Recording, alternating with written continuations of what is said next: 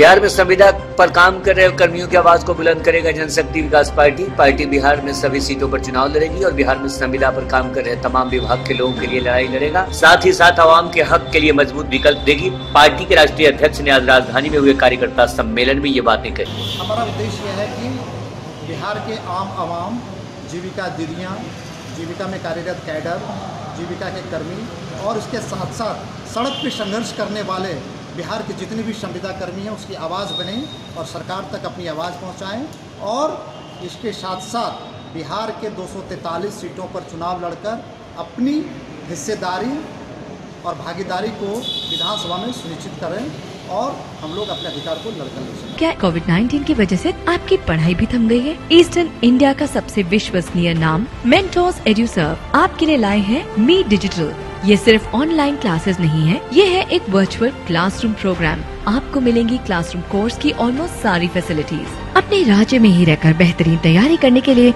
मी digital से जुड़कर अपनी पढ़ाई ऑनलाइन करें और कोरोना वायरस की स्थिति सामान्य होने के बाद इसे रेगुलर क्लासरूम में कन्वर्ट कर लें। मी डिजिटल को गूगल प्ले स्टोर से आज ही फ्री डाउनलोड करें। लेटेस्ट खबरों के लिए देखते रहिए एम न्यूज़ जेड न्यूज़ और ताज़ा अपडेट पाने के लिए चैनल सब्सक्राइब करना ना भूलें।